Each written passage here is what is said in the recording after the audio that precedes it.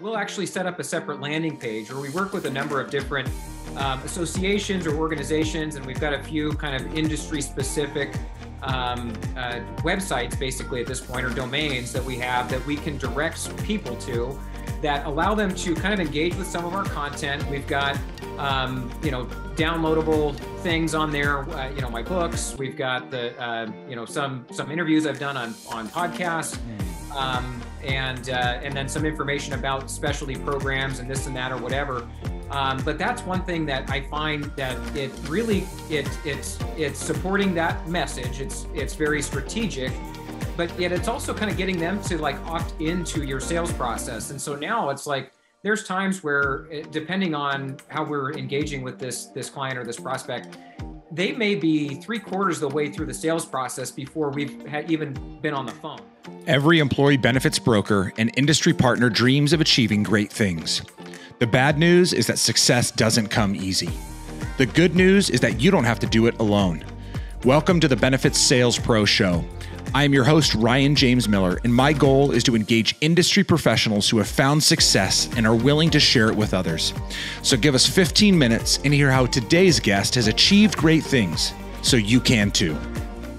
All right. What up, everybody? Welcome to another episode of the show. We are flying through some great conversations uh, with uh, successful agency owners and sales professionals in the employee benefits space with the whole goal of allowing you to grab one nugget or maybe 12 minutes, 15 minutes of great content around how to be a better sales professional. Because whether you own the agency or you sell for the agency, you have sales responsibility. You got to go out there and generate revenue. So that's what we're here to help you do today.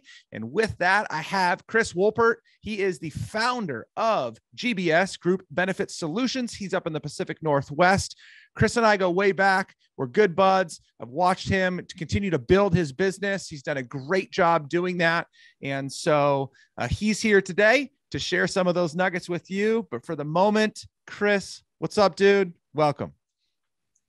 What's up, Ryan? Well, thank you. I, am so pleased to be on here today and have a chance to speak to your audience. And uh, hopefully, I'll hit the center of that bullseye for you. That's they good. Can take not. Yeah, not for me, for them. If not, if it doesn't work, they're just gonna they're gonna message you and be like, "Dude, that was crap. That that didn't work." okay, so uh, uh, first, kind of like an observational question that I have is when I say sales in the employee benefits realm or industry, what kind of comes to mind? Well, what comes to mind for me when you're talking about sales specifically within employee benefits um, you know, you you kind of my head goes one of two places. Either you think health insurance because that's where a ton of premium dollars go for every individual that's employed at, at a at a private employer or at any organization across this country. Or my other head go, but the other side of my head goes to uh, the the ancillary benefits, the the non medical benefits, and specifically uh, the carrier with the duck, right? I think that's what everybody associates when you think of sales and employee benefits. Um, so it kind of goes to one of those two directions for me.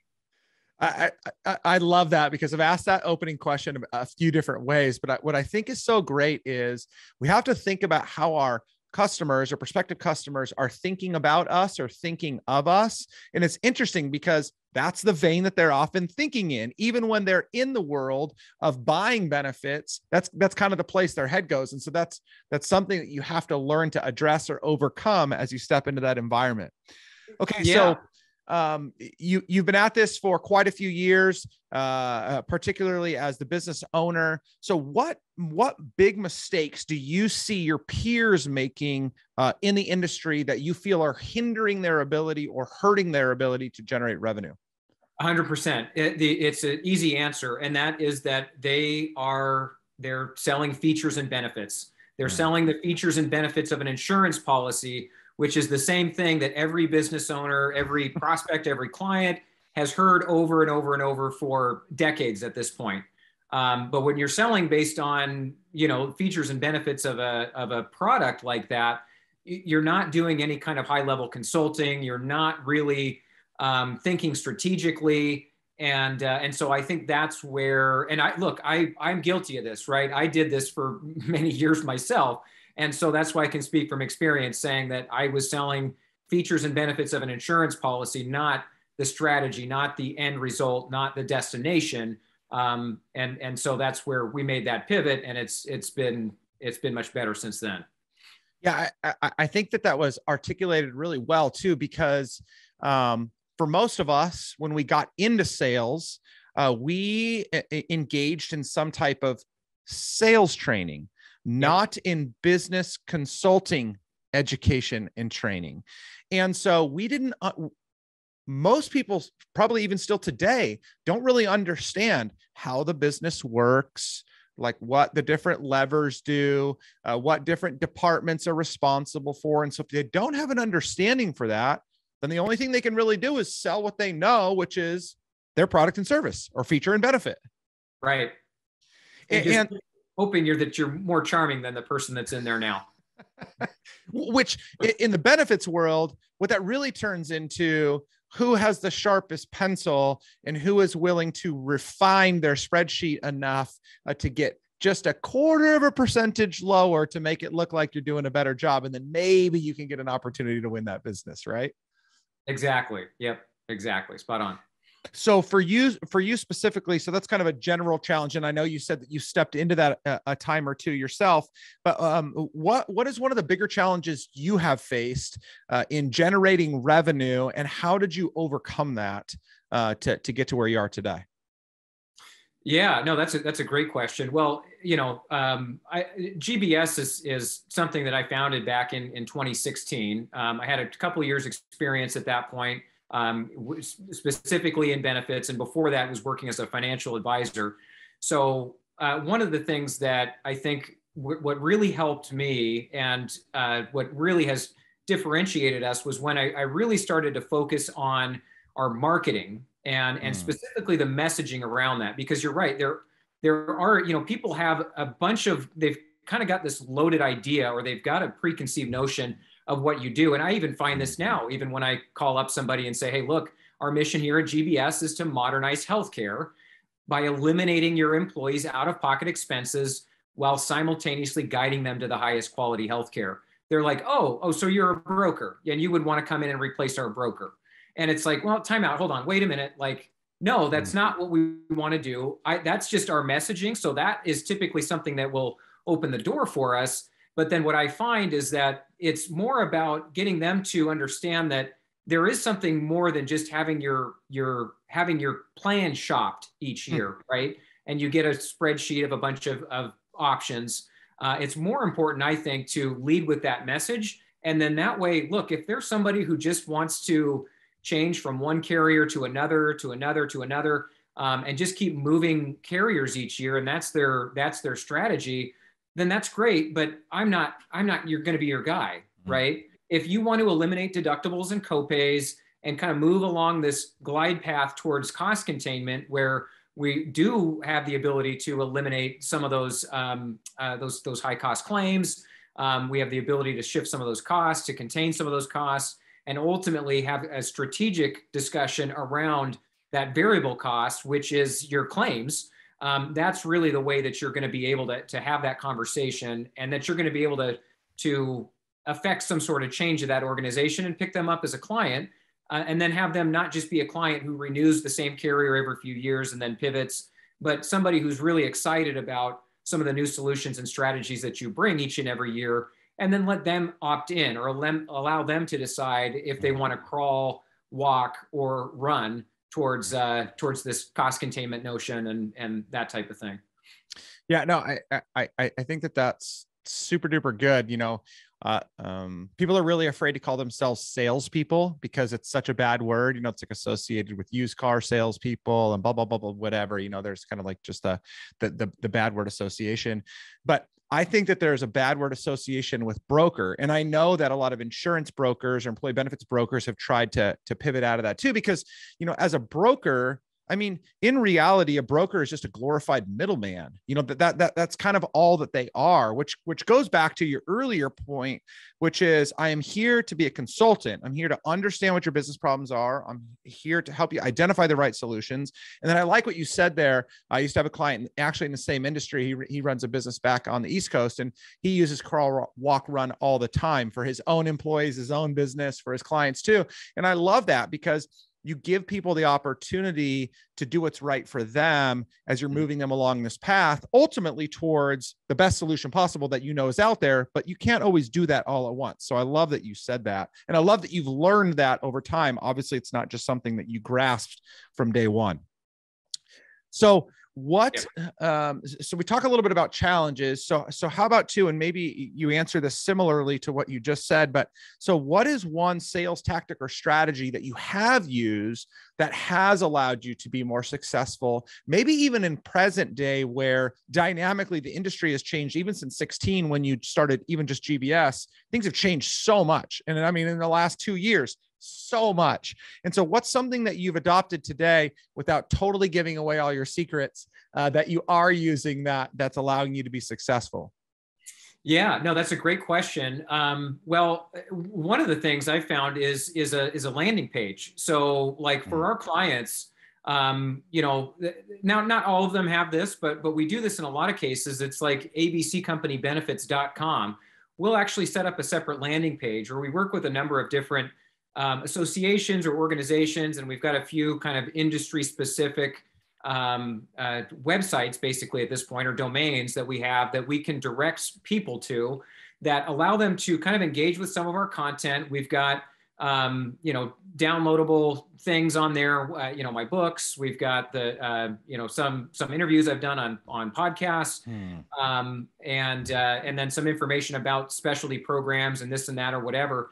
Um, but that's one thing that I find that it really it it's it's supporting that message. It's it's very strategic, but yet it's also kind of getting them to like opt into your sales process. And so now it's like there's times where eh, depending on how we're engaging with this this client or this prospect, they may be three quarters of the way through the sales process before we've even been on the phone. We may already have um, underwriting started, and we may have you know some things already in place that it really shortens our runway versus like in the back in the day where it was like all just basically pitching meetings to talk about features and benefits where that was the pitch was the meeting. And then you had to convince them to take that next step and this and that. Whereas now it's like you kind of get them used to what your messaging is it's all consistent and then they kind of opt in and and or weed themselves out which is just as well because you can't work with everybody you can't please everybody and and not everybody's going to be a right fit. So but if you can get those folks that are already maybe two thirds or three quarters of the way there, um, then that becomes it's a lot less resistant to to close the sale, and um, it's it's that much easier to to then onboard them because they've already they already understand some of the components of what's going to be required to uh, to work with us and and uh, um, and go from there. So I, I, love that. I think that's such a great idea because we are trying to consistently add value to put the right resources, the right content, the right information in front of them to educate them on uh, better ways to do to to to do uh, healthcare, uh, to do benefits, also to indoctrinate them kind of into our process, into our way of thinking. And so I love the fact that you've created a medium that allows them to opt into that, as you kept saying, which is so wonderful because then it does prevent you from just aimlessly, and I do say aimlessly on purpose, aimlessly pursuing everybody on a cold list in hopes that at some point somebody may actually tell you that their burning is building down and you happen to have the right hose to put out the fire. So I think that's great. Um, okay, so final question that I, that I like to ask everybody is, um, uh, if you could turn back to your younger self uh, that was just stepping into this industry, uh, what is one piece of advice you would have given you uh, to be more successful earlier? And you can't say that you would have had them doing Friday Fables way back then. I was going to say, don't do it, man. Don't do it. no, no, um, no. That I love that. I love that question. It's gosh, you know, like what, what, what could I, what could I tell my younger self that doesn't have this, uh, this level of experience now? Um, I, I think the thing for me would be, uh, you know, kind of what we were talking about before we started recording here, which is be patient.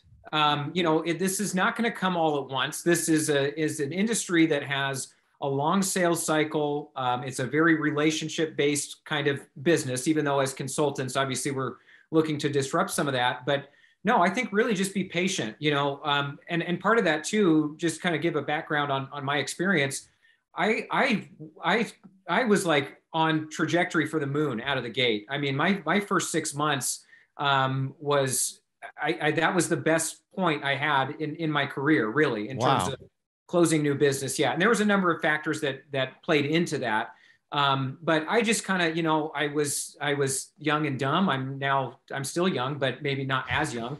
Um, not as young, dumb, not as dumb.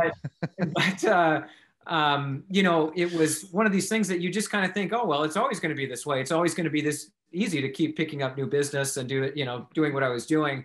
Um, and that was not the case. And I did come back, you know, crashing back down to earth and mm. um, have since rebounded from that too. So, but I think there's, um, you know, there's there's a there's a there's a valuable experience in all that. And so yeah. now we have certainly over the last um, year or two now been back on that same trajectory. Um, I do know that there there is there are things wrong with growing too fast mm-hmm. um, when you're not ready to do that. And and the other thing is too is that it's not going to last. And so you need to prepare for when you do bring on all this business. You've got to be able to service it effectively. You've got to be able to follow through on your value proposition and the promises that you made. Um, and then you need to be able to continue to, to grow and, and scale. And so I think that I've seen that happen with a lot of early businesses. They get some success early on and and uh, and then come back down to earth and then start to figure out where they went wrong. And and so I think that's something that um, you know you you have to somewhat embrace and and you you have to be patient and you have to you know if you're going to be willing to take those high highs you've got to be willing to withstand those low lows um, and get yourself back out of the valley and start climbing up the mountain again. Yeah, that's good, man. All right, it's a great way to land the plane. Um, uh, for you guys out there listening, uh, Chris is a, a great follow on LinkedIn. A lot of great content that is industry relevant. So definitely stuff like this. He does the Friday Fable pretty much every Friday. If you don't know what that is, go to go to his LinkedIn profile. Make sure you connect with him. Check that out. Uh, and uh, Chris has contributed to or written some books, which is really cool. Uh, but my favorite, just because of the uniqueness to it, and I don't plug a lot of stuff on this show specifically. Yeah, it's in, it's in the background up there, but it's called Hit Zero: uh, The Quest to Make Healthcare Costs Affordable. Is that what it is? The health, the, the quest to make the the health the oh my gosh, you put me on the spot now, Ryan. The quest to make healthcare a controllable cost. There you is go. The subtitle. Yeah. So so check that out. Super cool. I bought a copy. I think it's just it's such a, a fun and cool cool thing to do. Very creative. Uh, so make sure you connect with him. His contact information will be in the show notes. Chris, thank you so much uh, for joining. Always great to catch up and have this conversation. Um, and for you guys out there too, if you have any questions, comments, concerns, recommendations for future guests, you got a question about a topic that we've talked about, go to the benefitssalespro.com or you can reach out to and connect with me. Happy to listen to whatever you got to say. Make sure you do everything else, you're out there smashing those goals the best way that you can. Thanks, guys. Talk to you soon. Thanks so much for checking out this episode of the Benefits Sales Pro Show. Please make sure to like this episode, subscribe to the channel, and share it with your friends. I also invite you to check out thebenefitsalespro.com. We have created a digital platform that includes both live and on demand video trainings, quick tips, and a multitude of branding, prospecting, and selling resources that are downloadable for you today. So visit www.thebenefitsalespro.com and grab a free copy of the High Performance Sales Playbook while you're there.